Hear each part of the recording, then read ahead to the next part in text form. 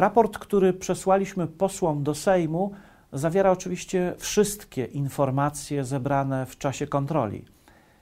Przesyłamy raporty do posłów na podstawie ustawy o Najwyższej Izbie Kontroli. Przesłanie raportu kończy procedurę kontrolną. Natomiast raport, który zawieszamy w internecie, przekazujemy dziennikarzom, opinii publicznej, nie zawiera wszystkich informacji, nie ma w nich tych informacji, które zostały zabezpieczone postanowieniem Sądu Okręgowego w Warszawie, Wydziału Cywilnego. Będą mogły te informacje zostać upublicznione, kiedy mm, dojdzie do rozprawy. Prokuratoria Generalna zaskarżyła to postanowienie sądu. Czekamy na wynik rozprawy.